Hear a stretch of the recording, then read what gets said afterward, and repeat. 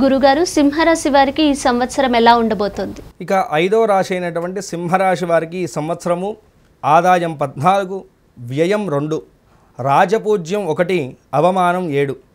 వీరికి ఇందాక మనం చెప్పుకున్నటువంటి విధానంగా శని మార్పు వల్ల అత్యంత శుభ ఫలితాలు కలిగించేటువంటి రాశుల్లో సింహరాశి కూడా ఒకటనమాట అద్భుతమైనటువంటి రాజయోగం కలిగించేటువంటి కాలం వీళ్ళకి గోచరిస్తూ ఉన్నది. ఈ రెండు వేల ఇరవై సంవత్సరం మొత్తం కూడాను వీళ్ళకి శుభకాలం అని చెప్పేసి మనం చెప్పుకోవాలి. గత రెండున్నర సంవత్సరాలుగా వీరికి ఉన్నటువంటి సకల గ్రహబాధలు సకల దుఃఖములు కూడా దూరమయ్యేసి సకల శుభాలను కూడా చేకూరేటువంటి శుభకాలమే ఈ యొక్క రెండు వేల ఇరవై. మీకు ఉన్నటువంటి అన్ని రకాలమైనటువంటి ఇబ్బందులు కూడా తొలగి సకల శుభాలు కూడా మీకు చేకూరుతాయి. అనుకున్నటువంటి పనులు పూర్తవుతాయి. ధనలాభము ఆరోగ్య లాభం కలుగుతుంది. నూతన ప ప్రణాళికలు సిద్ధం చేసుకుంటారు. గృహయోగము వివాహ యోగము వాహన యోగం కూడాను గోచరిస్తూ ఉన్నది.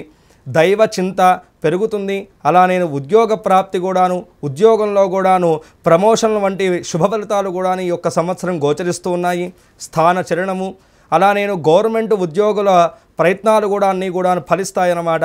శత్రువులు పెరుగుతారు. సినీ రాజకీయ రంగాల వారికి కూడాను ఇది అనుకూలమైనటువంటి కాలంగా మనం చెప్పుకోవచ్చు.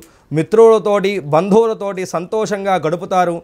విదేశీయాన ప్రయత్నాలన్నీ కూడా ఫలిస్తాయి. మొత్తంగా చూసుకుంటే కనుక అంతా ఈ యొక్క సింహరాశి వారికి ఈ సంవత్సరం కూడా శుభకాలమే అని చెప్పేసి మనం చెప్పుకోవాలి.